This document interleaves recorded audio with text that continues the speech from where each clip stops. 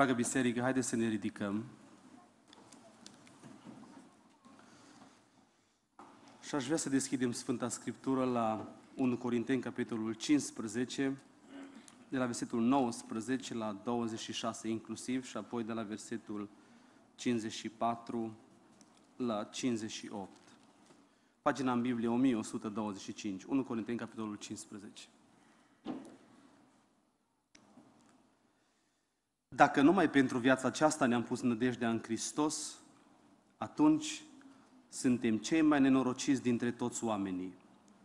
Dar acum, Hristos a înviat din morți, pârga celor adormiți. Căci dacă moartea a venit prin om, tot prin, mo- prin om a venit și învierea morților. Și după cum toți mor în Adam, tot așa toți vor învia în Hristos, dar fiecare la rândul cetei lui.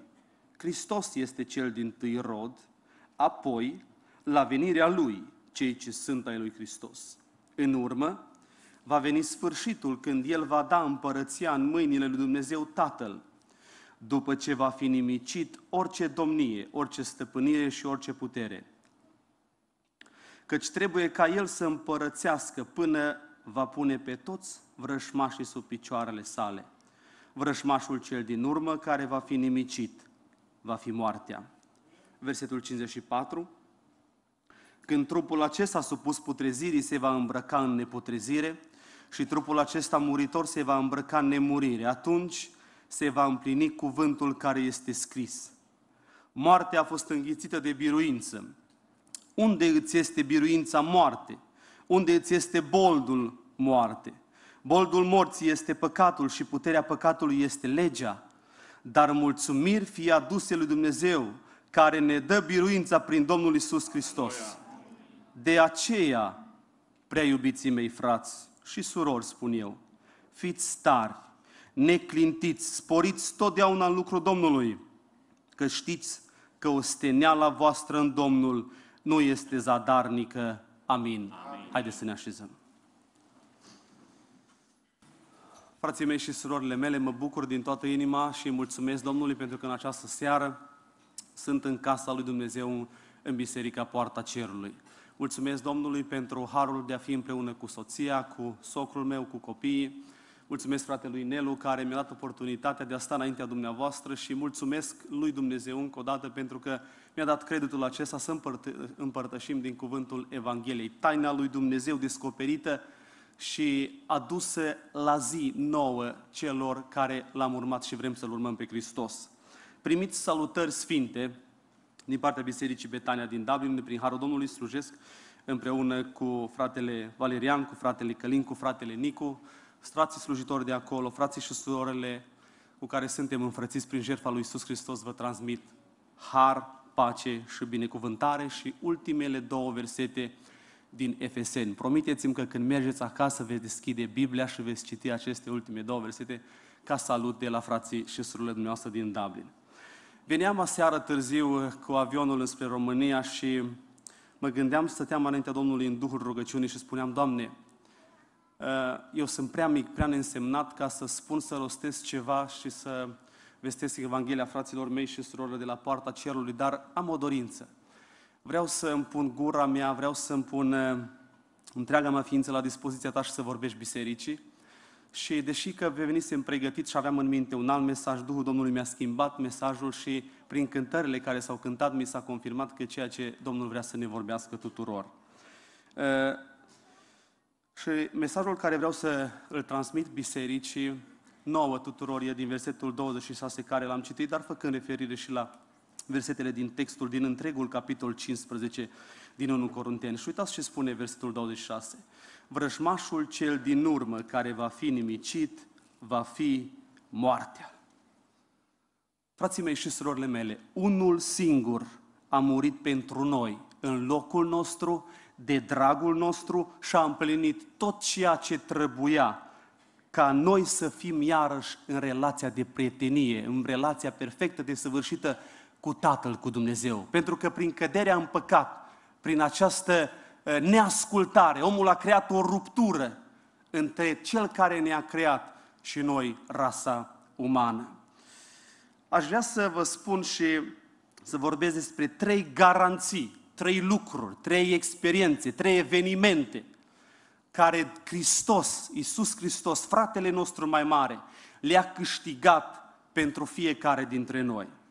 Da, ascultă-mă bine, pentru tine, pentru tine, pentru tine, care astăzi poate că te lupți cu tot felul de ispite, tot felul de provocări îți vin în față și nu știi cum să faci față, nu știi cum uh, și n-ai convingerea aceasta că vei ieși și vei avea izbândă și vei avea succes din acest tumult de ispite și de provocare care sunt în fiecare zi. Dar aș vrea să vă spun ceva.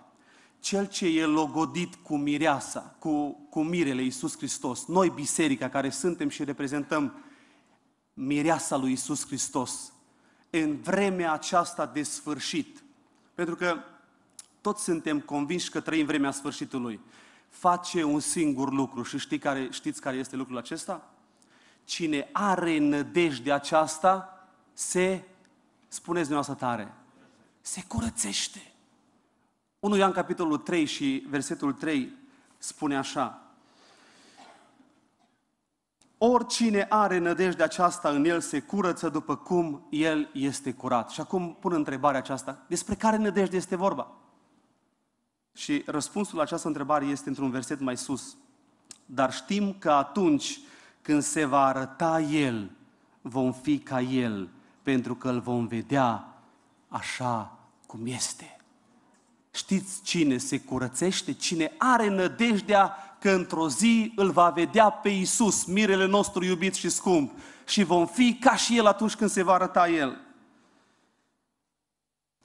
Îmi vine greu să cred și să accept lucrul acesta. Nu știu cum e de la dumneavoastră, dar îmi confirmă căldura mare care m-a izbit astăzi și timpul acesta liber și ceea ce spunea fratele Nelu. Diavolul niciodată nu ia vacanță. Provocările lui din potrivă în vremea aceasta de repaus pentru unii și pentru alții sunt și vor fi tot mai mari și abia așteaptă să dea lovitura la fiecare, fie tânăr, fie bărbat, fie femeie, știe și ale el alifiile lui pentru fiecare dintre noi. Îmi vine greu să cred că oamenii care au încheiat legământ cu Dumnezeu, surorile, frații care slujesc, pretind ca o relație de prietenie cu fratele nostru mai mare, cu cel care a câștigat și ne-a pus în acest statut de săvârșit cu Tatăl, prin jertfa și prin moartea sa, li s-ar părea greu să vină marța la rugăciune, să stea de vorbă cu prietenul lor cel mai bun, să-i citească scrisoarea de dragoste. Îmi vine greu să cred și să accept lucrul acesta. Uh, mai mult, poruncile lui care ne ghidează și ne pregătesc locul și drumul înspre a ajunge în împărăția lui Dumnezeu să li se pară o povară să li se pară ceva greu de făcut. Cum adică să îți vină greu să faci și să fii ceea ce îți cere mirele tău? Păi atunci când un băiat și o fată sunt îndrăgostiți, au intrat într-o relație de prietenie, frații mei și surorile mele, dragi tineri, păi ăștia abia așteaptă să se întâlnească unul cu celălalt să petreacă timp împreună. Nu-i spune mama și tata, auzi, de când nu te-ai mai văzut? De când nu v-ați mai văzut? Încă din potrivă pun frână și spun, prea des vă întâlniți. Când ești în relația aceasta de prietenie și ai nădejde aceasta, te curățești și cu orice ocazie, cu orice îndemn, cu orice uh, situație care stă în față. N-ai în vedere altceva decât să nu faci nimic care să-l supere pe mirele, pe prietenul tău cel mai bun, pentru care te pregătești în vederea acestei întâlniri. Cât de ușor, frații mei și surorile mele, dragi tineri, ne scuzăm noi cu tot felul de scuze ieftine și filozofii care uneori nici nouă nu ne vine să crede. Nu ne vine să credem cât de uh, ușor tratăm relația aceasta care Hristos a câștigat-o pentru noi prin moarte și prin suferințele Lui. Au, frații mei, haideți să fim sinceri, pentru că mie nu-mi place să predic filozofii de aici, de la Anvon. Ori în ce biserică mă duc, oriunde sunt, prima dată mă rog Domnului, Doamne, dăm dragostea aceasta să îi iubesc pe toți ascultătorii mei. Dăm puterea aceasta să predic cuvântul cu toată dragostea, să nu fiu înțeles și interpretat greșit. Nu vreau să jignesc pe nimeni, nu vreau să super pe nimeni, nu vreau nimănui să îi se pare că sunt aspru sau dur. Dar cuvântul lui Dumnezeu trebuie predicat așa cum este El, drept, și adevărat, pentru că așa este. Și numai cuvântul acesta poate să aducă în viața noastră schimbare, transformare, să pună noi pasiune și relația noastră de prietenie să crească până va ajunge la desăvârșirea când îl vom vedea pe El față în față. Vreau să vă spun, dragii mei, frații mei și surorile mele, despre ceea ce a pregătit, ceea ce a câștigat Hristos pentru fiecare care îl urmează și vrea să-l urmeze. Și titlul mesajului meu din această seară este Ce garantează Isus pentru cei ce vor să-l urmeze? Ce garantează Isus pentru cei care vor să-l urmeze? Și primul lucru este din versetul 21.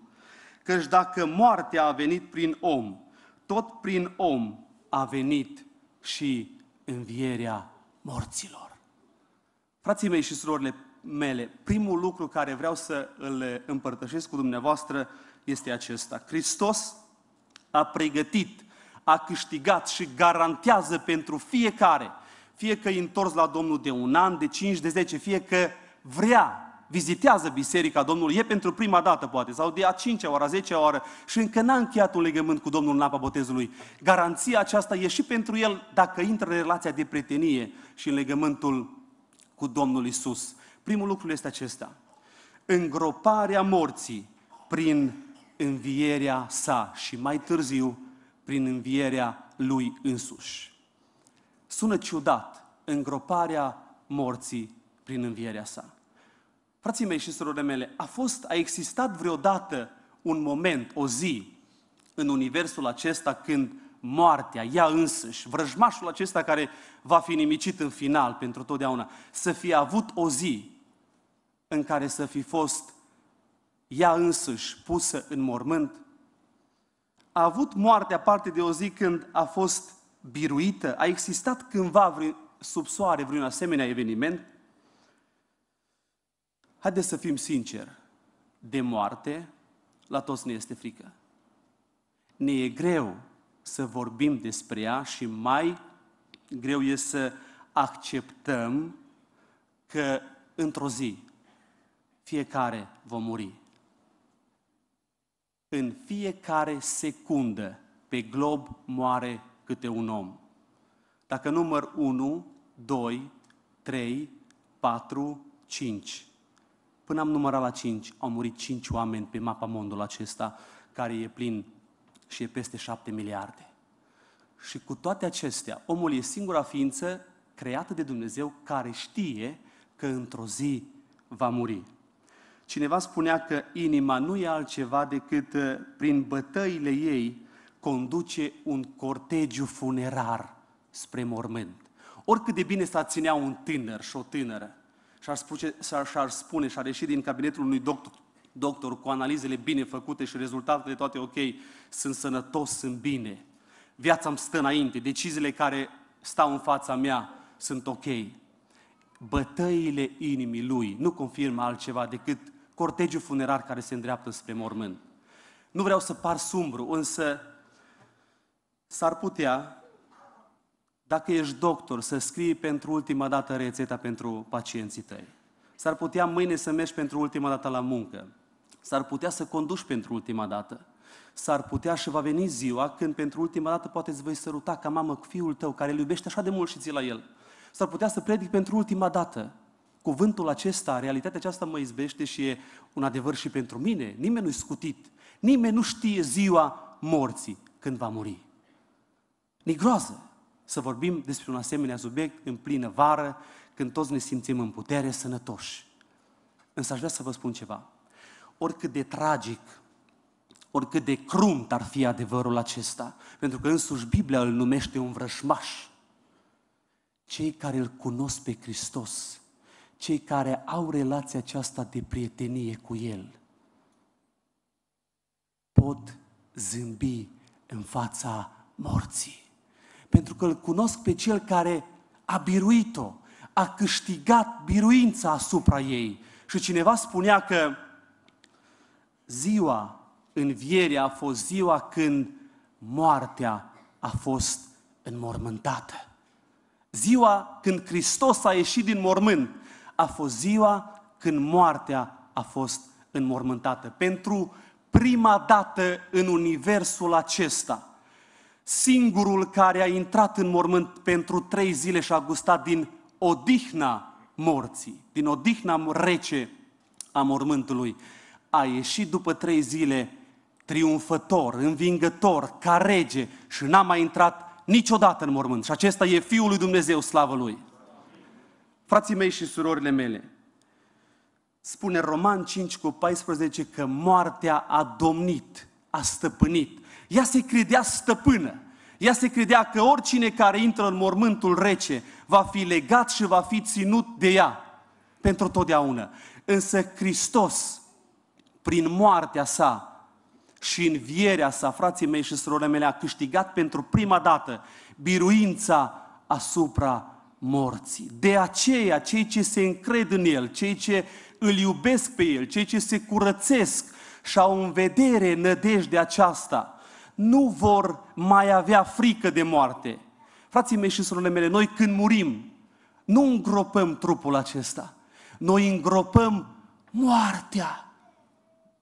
Și cu fiecare înviere a Sfinților se confirmă adevărul acesta. De aceea, cei care îl urmează pe Hristos, perspectiva asupra zilei morții, nu e un gând negru, un moment în care, Doamne, cum se va întâmpla? Ce se va întâmpla? Deși că chiar dacă avem noi momentele de sinceritate în care stăm și ne gândim, da, accept în sfârșit, cumva voi muri, dar îmi doresc să mor de o moarte bună, de o moarte naturală.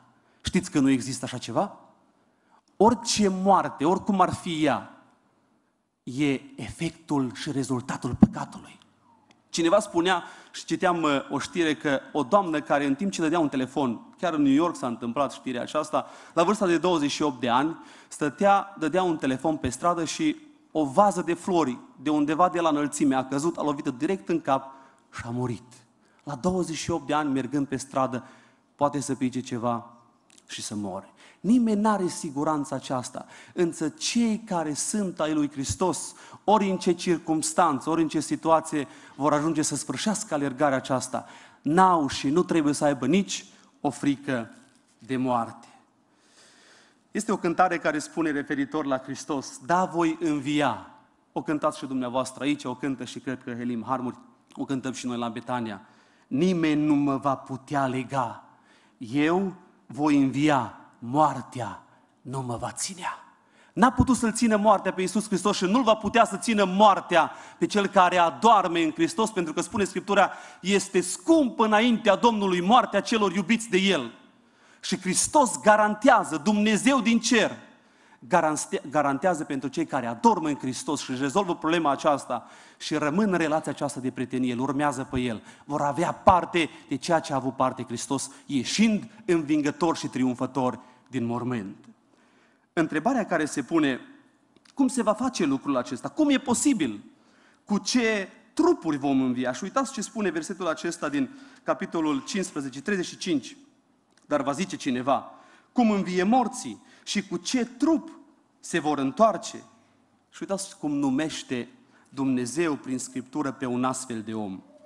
Nebun ce ești, ce semeni tu nu învie, nu învie dacă nu moare mai întâi. Și când semeni, semeni nu trupul care va fi, ci doar un grăunte, cum se întâmplă, fie de grâu, fie de altă sămânță. Apoi Dumnezeu îi dă un trup după cum voiește și fiecărei semințe îi dă un trup al ei. Frații mei și surorile mele, să ne fie foarte clar.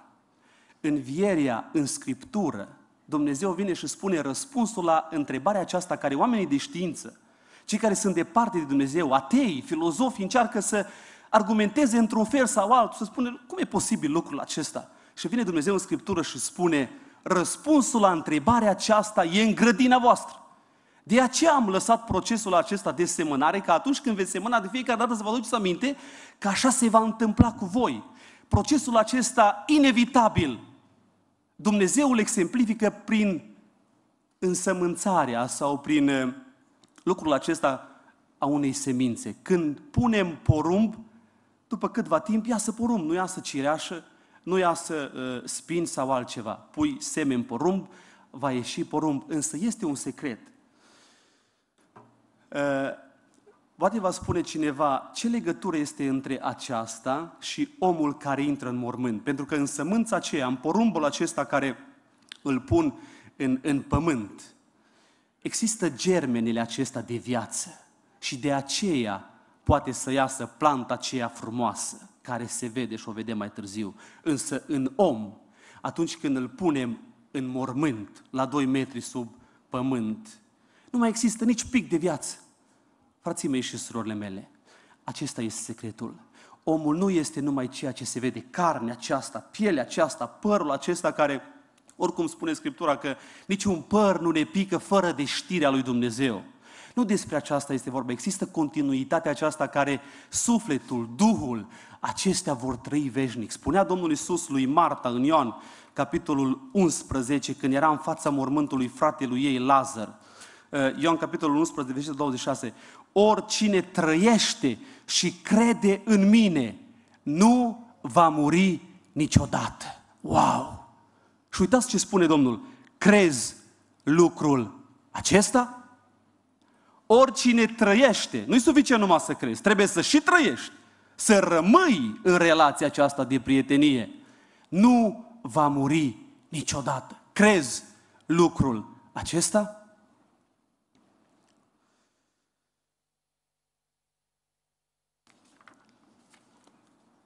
Frații mei, aș vrea să vă pun o întrebare care să oarecum să îngreuneze procesul acesta, dar voi veni cu soluția.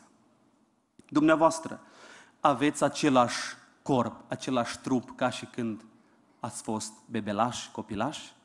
Da sau nu? Eu zic că da. Cum adică v-ați schimbat, v-ați... Poate e prea mult să spun expresia aceasta. A existat în timpul vieții un proces al în ghilimele, a reîncarnării, ați devenit altcineva? Nu aveți același trup care l-ați primit atunci când v-ați născut? Unii spun nu, alții poate că spun da. Răspunsul acesta este da și nu. Poate că ai fost un bebelaș frumos, un copil, un adolescent, un tânăr care îți plăcea să stai în oglindă cu ceasurile și acum, după ce ai trecut de 35, de 40 de ani, 50, 60, parcă ți-e groază să mergi la oglindă, că chipul care te izbește în față e altul. Am fost venit în România uh, cu câteva zile în urmă și m-am întâlnit cu cineva care efectiv nu l-a mai cunoscut. Poza salvată în imaginea minții mele era alta și m-a întrebat cineva, îl știi pe respectivul? Și am spus, nu-l cunosc. Și când mi-a spus cine îi, am zis, extraordinar cât s-a schimbat. Extraordinar, nu vine să cred. Frații mei și surorile mele, fiți foarte atenți. Râul care trece prin Trimișoara, Bega, eu l-am văzut pentru prima dată în anul 2004 când am venit aici și uh, m-am căsătorit. Apa care a curs pe râul acela atunci. Nu mai este niciun fir de apă, niciun picur din ceea ce a curs atunci. Dar aceeași bega este și astăzi. Numele ei este aceeași, nu? De ani, de zeci de ani, nu știu când a primit numele acesta. Așa este și cu trupul nostru. Vom primi la înviere trupuri noi de slavă. Și nu vreau să rămân la detaliul acesta, ci vreau să uh, explic confirmând cu o altă idee din Psalmul 139, să vedeți cât de înțelept creează și pregătește Dumnezeu în contextul acesta, versetul 16 din Psalmul 139, să vedem cât de implicat e Dumnezeu în toate detaliile acestui proces, și șal vieții, și șal morții, și șal învierii. Uitați ce spune Psalmul 139, versetul 16. Când nu eram decât un plod fără chip, ochii tăi mă vedeau și în cartea ta erau scrise toate zilele care mi erau rânduite mai înainte de a fi fost vreuna din ele. Știți cum numesc oamenii astăzi cartea aceasta cu toate detaliile care țin de ființa omenească? ADN. În engleză noi zicem DNA, DNA. Nu e vorba de DNA-ul românesc, deși că poate că are un pic de legătură. Și acum fiți foarte atenți. Dacă omul, știința omenească a ajuns așa de departe că poate lua o moleculă din acest ADN și poate să cloneze întregul, credeți dumneavoastră că știința lui Dumnezeu a rămas în urmă când va veni vremea învierii? Frații mei, lui Dumnezeu nu-i scapă nimic, totul e sub control. Va da un simplu click stăpânul, creatorul.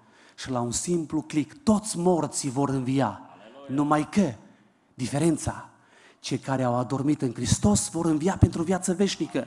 Cei care au, dorm, au adormit și au murit departe de El vor învia pentru o sândă veșnică. Aici va fi marea diferență în acea zi. Așadar, frații mei și surorile mele, Hristos a câștigat și garantează îngroparea morții și învierea tuturor celor care rămân și se încred în El din toată inima. Al doilea lucru, merg foarte repede. Sfidarea morții prin răpirea bisericii. Frații mei, primul lucru a fost îngroparea morții, lucru garantat de Hristos, exemplificat și el însuși a trecut prin moarte și a înviat ca să fie un exemplu, pentru că așa spune Scriptura, e pildă de urmat pentru noi. El e fratele nostru mai mare, el a mers înaintea noastră ca să ne pregătească drumul și noi mergem pe urmele lui. Acum, partea a doua care o a pregătit-o și o garantează Hristos pentru toți cei care vor să-L urmeze, e lucrul acesta, sfidarea morții prin răpirea bisericii. Frații mei, nu sunt ideile mele, nu sunt principiile mele, sunt cuvintele lui Dumnezeu. Uitați ce spune cuvântul Domnului în versetul 51 din același capitol. Iată, vă spun o taină. Știți ce e taină? Taină este un secret, adică un lucru care a fost ascuns, care nu l-a mai știut nimeni. Se apropie cineva de tine și vrea să spună, auzi, vreau să spun un secret, dar să nu mai spui la nimeni. Și nu vreau să intru în detalii de felul acesta, dar uitați ce spune cuvântul Domnului în continuare. Nu vom adormi toți, dar toți vom fi schimbați într-o clipă, într-o clipeală din ochi. La cea din urmă trâmbiță. Trâmbița va suna, morții vor învia nesupuși putrezirii și noi vom fi schimbați căci trebuie ca trupul acesta supus putrezirii să se îmbrace în neputrezire și trupul acesta muritor să se îmbrace în nemurire. Când trupul acesta supus putrezirii se va îmbrăca în neputrezire și trupul acesta muritor se va îmbrăca în nemurire, atunci se va împlini cuvântul care este scris. Moartea a fost înghițită de biruință. Vor fi oameni, bărbați și femei, tineri și copii, nu știu câți, milioane, miliarde, nu știu, care nu vor gusta niciodată din sentimentul acesta fizic al morții. Și aceștia vor fi mireasa care va fi răpită la cer. Frații mei și surorile mele, secretul acesta, taina aceasta, N-a știut-o nici Isaia, nici Ieremia, nici Ezechiel, nici Daniel, care a fost numit de Dumnezeu om prea iubit și scump. N-a știut-o nici măcar Iov, cu care Dumnezeu s-a lăudat. Iov a crezut în înviere, dar n-a știut despre taina lui Dumnezeu care a ținut-o ascunsă și pregătită, descoperită bisericii nouă astăzi prin revelația care i-a făcut-o directă Sfântului Apostol Pavel și prin care scrie în Efeseni capitolul 3, versetele de la 3 la 5, uitați ce spune aici. Prin descoperire dumnezeiască am luat cunoștință de taina aceasta și de această taină este vorba aici, despre care v-am scris în puține cuvinte. Citindu-le, vă puteți închipui priceperea pe care o am eu despre taina lui Hristos, care n-a fost făcută cunoscut fiilor oamenilor în celelalte viacuri, în felul cum a fost descoperită acum Sfinților Apostoli și Proroci a lui Hristos prin Duhul. Frații mei și surorile mele, suntem noi, ne pregătim noi pentru evenimentul acesta inevitabil care se va întâmpla și care, pot să spun aceasta, e evenimentul cel mai măreț care îl așteaptă biserica? Frații mei, suntem noi pregătiți, ne pregătim noi pentru răpirea bisericii? Suntem noi pregătiți? Un alt vers de cântare spune, da, voi reveni. Nimeni nu mă va putea opri. Eu voi reveni și poporul îmi voi răpi. Ești gata pentru răpire? Ai în vedere aspectul acesta? Asta nu înseamnă că dacă mă însor, să nu mai fac copii că vine Domnul. Dacă mă însor să nu mai îmi fac casă, să nu mă mai duc la muncă, să nu mai merg la o facultate. Nu! le fac toate responsabil, dar am în vedere adevărul acesta care se va întâmpla inevitabil. Răpirea bisericii, pentru că e taina care ne-a descoperit-o și ne-a făcut-o Dumnezeu cunoscut nouă, generației bisericii, mireasa Domnului care trăiește în secolul 21. Când eram la liceu, eram fascinat de ipotezele acestea care există cu privire la răpire. Va fi înainte de necazul cel mare, după necaz, în mijlocul necazului. Cu trecerea anilor am înțeles și Duhul lui Dumnezeu a crescut în mine o altă responsabilitate. Deși că e foarte bine să studiem, să cunoaștem, să știm, nu sunt împotrivă la aceasta. Dar, frații mei și surorile mele, responsabilitatea noastră e să ne pregătim pentru acest eveniment. Credeți dumneavoastră că dacă noi nu ne pregătim să mergem la aeroport, vom ajunge acolo așa, aiurea din întâmplare? Dacă nu ne propunem lucrul acesta, nu se va întâmpla, nu se va realiza. Vor avea parte de răpire cei ce fac parte din mireasa lui Hristos și se pregătesc în vederea acestui eveniment măreț. Poate cineva să se gândească cum va fi acea zi? V-ați gândit, frații mei și surorile mele, haideți să fim sinceri, în ultimele zile, în ultima săptămână, în ultima lună, cât de des ne-am gândit și am trăit pregătindu-ne pentru evenimentul acesta, răpirea bisericii, de care nimeni nu-i străin, chiar dacă pentru alții era un secret, o taină, pentru noi e un adevăr revelat. Ce har, ce onoare ne-a făcut Dumnezeu să trăim în secolul 21 și să știm despre lucrul acesta. Vă puteți imagina cum va fi ziua aceea să conduceți prin oraș cu soțul, cu soția, cu copiii în mașină și dintr-o dată din bacheta din spate fiul cel mare să plece? Sau soția? Sau soțul? Să pleci cu avionul spre Italia, spre New York, spre Dublin, să vin spre România și să se anunțe că pilotul a dispărut și nava e în pericol. Un profesor care stă într-o clasă și predă niște cursuri, hai să spunem că e un seminar teologic, dar așa, mai libertin, în care filozofia lumii a intrat și tinerii sunt infectați cu tot felul de lucruri, cu filozofia ale lumii contemporane în care trăim și dintr-o dată dintre 38 pleacă. Și profesorul se întreabă, nu e nicio problemă, că ăștia tot timpul argumentau la ceea ce dezbăteam noi, la temele noastre, cu Scriptura. Cred că a venit judecata lui Dumnezeu peste ei și au plecat. Vă imaginați cum poate să fie slujitorul acela care conduce un program de duminică dimineața, dacă sâmbătă seara ar fi fost răpirea? Să zică, dragii mei, Mă bucur că suntem în această dimineață după cataclismul care a lovit lumea.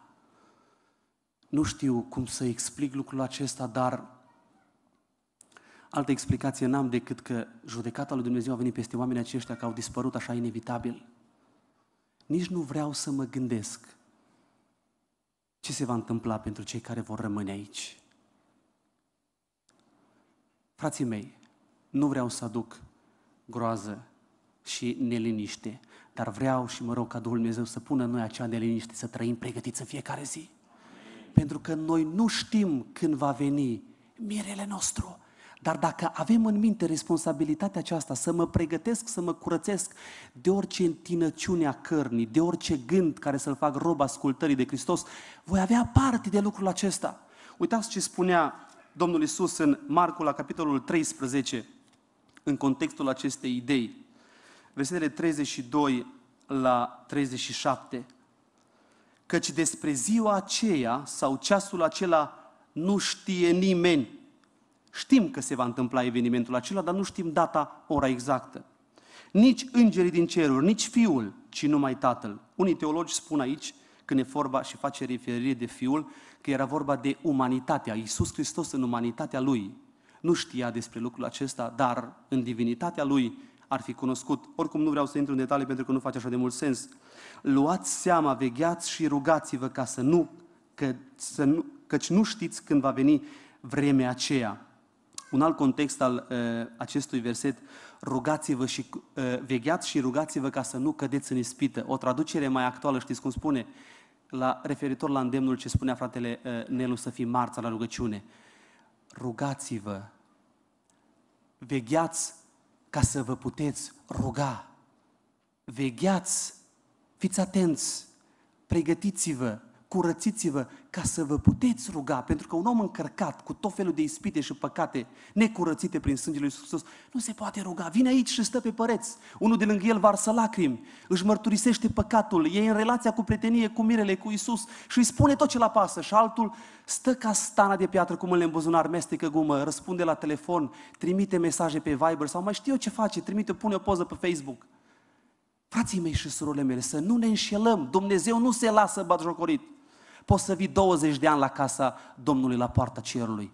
Dacă nu ești în această de relație de prietenie, nu comunitatea care îți împlinește unele interese care le ai când vii aici, ci părtășia, relația de prietenie care o ai cu mirele, te va absolvi și te va pregăti pentru ziua aceea. Luați seama, vegheați și rugați-vă căci nu știți când va veni vremea aceea. Se va întâmpla ca și cu un om plecat în altă țară, care își va lăsa casa, dă robilor săi putere, arată fiecare care este statoria lui și poruncește portarului să vegheze. Vegheați, dar pentru că nu știți când va veni stăpânul casei, sau seara, sau la miezul nopții, sau la cântarea cocoșilor, sau dimineața. Temeți-vă ca nu cumva, venind fără veste, să vă găsească dormind. Concluzia. Ce vă zic vouă, zic tuturor. Vegheați. De ce? Pentru că Vine o zi când vom pleca, spre Canaan ne-om îndrepta, da vine o zi, da vine o zi. O trâmbiță va răsuna, de pe pământ ne-om înălța, noi vom zbura, da vom zbura. Ce sărbătoare atunci va fi, când mirele își va întâlni mireasa lui pe nori de slavă în văzduh. Cu mintea nu poți a gândi ce întâlnire atunci va fi, vei fi și tu acolo sau nu vei fi. Iisus te cheamă oricine ești, de vrei când cer să locuiești sa lui, sa lui. Doar prin credință poți acum să ai o viață și un nou drum cu Dumnezeu, cu Dumnezeu. Ce sărbătoare atunci va fi când mirele își va întâlni mireasa lui pe nor de slavă în văzduh. Cu mintea nu poți a gândi ce întâlnire atunci va fi, vei fi acolo și tu sau nu vei fi. Să fii și tu acolo, nu lipsi frații mei și surorile mele, vei fi, vei fi acolo? Ești pregătit pentru evenimentul acesta? Tot ce va conta în acea zi, dacă vei pleca sau dacă vei rămâne. Tot ce vă zic vouă, zic tuturor, spunea Domnul Iisus, vegheați! Așadar, ce garantează Hristos celor care îl urmează? Îngroparea morții și învierea Lui însuși. În al doilea lucru, sfidarea morții prin răpirea bisericii. Și al treilea lucru, nimicirea, anularea morții definitive prin domnia sa. Nimicirea și anularea morții pentru totdeauna prin domnia lui Hristos. Frații mei, calculați dumneavoastră cum vreți, dar nu o să vă iasă niciodată un rezultat de egal între o viață de 40 de ani, de 80 de ani, trăită în cel mai mare lux, în cele mai mari dorințe și pofte împlinite și o veșnicie cu Dumnezeu sau departe de Dumnezeu. Trageți dumneavoastră concluzia în această seară și dacă ești pentru prima dată în seara aceasta, dragul meu, Dumnezeu te-a dus în locul acesta să-ți spună că va veni o zi când vei fi sau nu cu El, îmi depinde foarte mult de deciziile și de hotărârile tale care le iei în viața aceasta. Frații mei, spune cuvântul lui Dumnezeu în 2 Timotei, capitolul 1, versetul 10, referitor la domnia lui Hristos. El ne-a mântuit și ne-a dat o chemare sfântă, nu pentru faptele noastre, ci după hotărârea Lui și după harul care ne-a fost dat în Hristos, Iisus înainte de veșnicii, dar care a fost descoperit acum prin arătarea Mântuitorului nostru Iisus Hristos, care a nimicit moartea și a adus la lumină viața și neputrezirea prin Evanghelie. Unde îți este biruința moarte? Unde îți este boldul moarte? Boldul morții este păcatul și puterea păcatului este legea. Dar mulțumiri fie aduse lui Dumnezeu care ne dă biruința prin Domnul nostru Isus Hristos. Căci trebuie ca El să împărățească până va pune pe toți vrăjmașii sub picioarele sale. Frații mei și surorile mele, singurul țepuș, singurul ac și cârlig al morții care îl mai are astăzi este păcatul. Înțepătura aceasta prin care diavolul vrea să ne țină rob legați pe fiecare. Dar aș vrea să vă spun un mare adevăr. Iisus Hristos, fratele nostru mai mare, a purtat înțepătura aceasta, a biruit moartea prin moartea Lui pe cruce. Și imaginați-vă lucrul acesta, o mamă care își plimbă copiii prin parc și dintr-o dată cel mai mare e înțepat de o albină. Vin cei mai mici și spun, mami, pe fratele nostru mai mare l-a înțepat o albină și plânge și în timp ce mama vine la el grijulie, îi șterge lacrimile de pe obraz și spune, stați liniștiți, nu mai plânge. Înțepătura, acul a rămas aici, voi ceilalți sunteți în siguranță. Albina poate înțepa o singură dată și moare. Nu mai înțeapă de mai multe ori pentru că acul rămâne acolo. Frații mei și surorile mele, Hristos a purtat păcatele noastre pe cruce. Nu mai trebuie să trăim sub pediapsa aceasta, sub acuzația care o aduce diavolul în viața noastră.